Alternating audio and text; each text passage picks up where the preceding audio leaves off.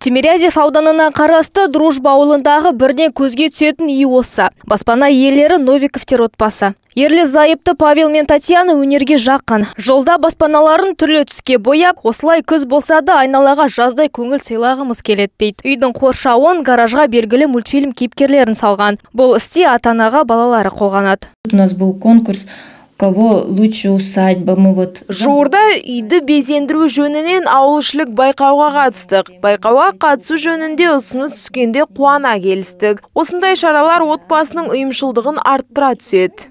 Новиковтер отбасы шығармашылықпен бірге үйдегі шаруаларында уақытында тындырып үлгереді. Келе жатқан қысқа сақадай сай. Балалардың анасы жертөле толы көкөніс тұздап, тосап әзірлеген. Өздерінің жылы жайлары да бар. Ну, конечно, тяжелее летом, потому Жаз бойы көкөніс пен жеміс-жидек күтіп баптаумен айналысамыз. Кейін оны қысқыға банкіге тұздап немесе қант қосып қайнатып салып қоямын. Биылғы өнім мол болды.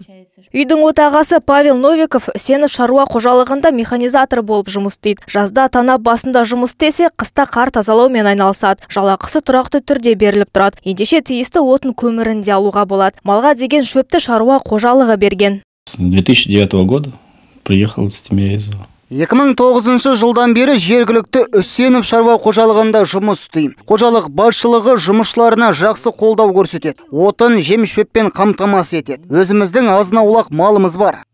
Еңбекқор отбасы ауылда мал мен жұмысың болса, жайлы өмір сүруге болады дейді. Самал Жүнісова, Александр Янсен, МТРК.